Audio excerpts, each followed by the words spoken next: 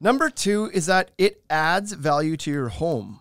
So this is a renovation that you're going to get money back on. They say inside your house that kitchens and bathrooms are where you're going to make your money. Sell your house, kitchen and bathroom, sell houses. Yeah. And so if your kitchen and bathroom are currently in a state of dismay where people that were looking at your house and wanting to buy it would look at it and be like, ugh, nope, not going to buy that, then you can add a lot of value to your house also by spending money in your kitchen or your bathroom too.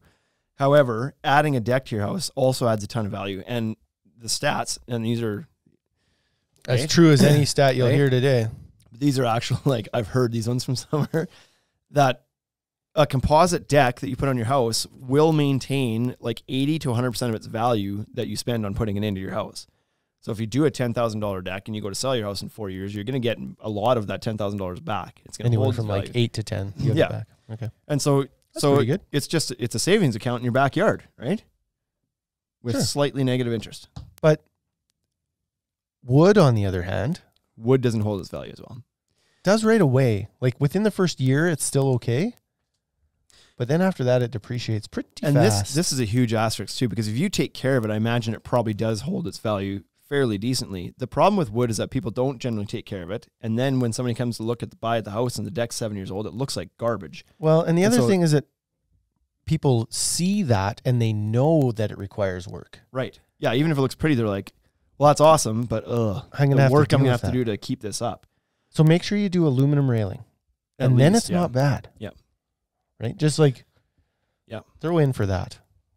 So, because that's the pro- that's the problem when people are shopping for houses. They don't want to buy a house with a bunch of projects. Some maybe do, but nobody wants walks into it and is like, "Oh, good, the deck's crappy." So that's going to knock the price down. Like, not only are you not going to get what you put in for it, but it may actually like have negative value Correct. if it's super crappy because now it's like, "Oh, the house is two hundred thousand dollars." Yeah, but now I'm gonna have to replace that deck, so I'm offering one ninety five. Yep.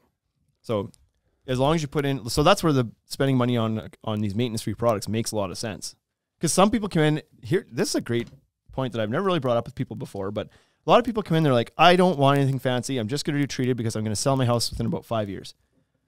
And so they in their mind they're thinking i don't want to dump a bunch of money into something i'm not keeping because i'm going to sell it. But what maybe they should be thinking is that in five years that deck's going to end up costing you more money trying to sell your house than if you would have just spent the money on composite now, and then it would have added value instead of taken value away from your house in five years from now. Because they're not going to take care of a treated deck. Nobody does.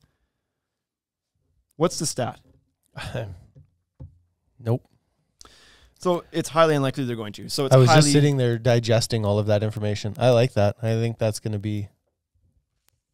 Yeah, I'm scared for the next guy that walks in here and tells me he's buying a treated deck. because he I'm only gonna is going to stay in that him. house for four years, and it's Yeah. like, oh, I'm coming for all of it. yeah. Let me show you the Azek vintage line. um, so it adds value to your home. Here's a. I have a negative interest savings account for your backyard if you want. Um, what is Sousa referring to here? On the Instagram, Sousa Outdoor Living says, I do, laughing. Crappy decks give me an opportunity to try things. What's it? What did we talk about that he's referring to?